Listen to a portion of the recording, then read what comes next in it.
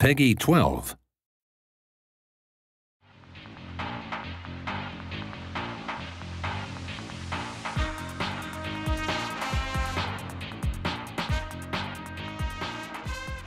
On June 28th, 1985, I played Spy Hunter at the third annual Masters Tournament, which was a Guinness Book tournament.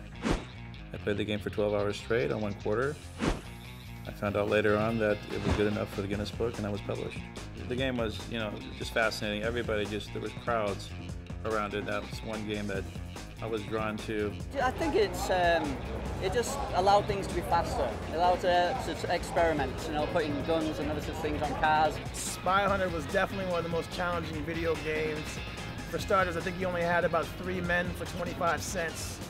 And it was real hard, you know. I mean, the game was nonstop. You pretty much were working. You couldn't take your eyes off the machine for even two seconds. I think it was just different than what they had in the past. You know, it wasn't a, a maze game like Pac-Man. People were looking for unique games that simulated real life and this was one of them that did that very well. You're talking about the very first game ever being a driving shooting game. How did that not shape video games? People love it whenever you can combine two different things that are awesome, aka driving fast and shooting guns.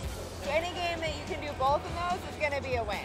You have to develop patterns and strategies uh, for, for the enemies, and you have to find out their characteristics and break it down. And it was a thinking game. The game design was simple and easy to, to learn, but hard to master.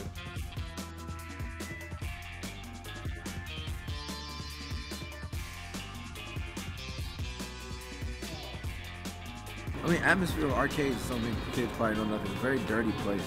It's kind of like a nightclub for kids. All the girls were there. All the guys were there. I mean, if you weren't in the arcade, you're kind of a square. You know, it was you were a superstar if you were good at a game.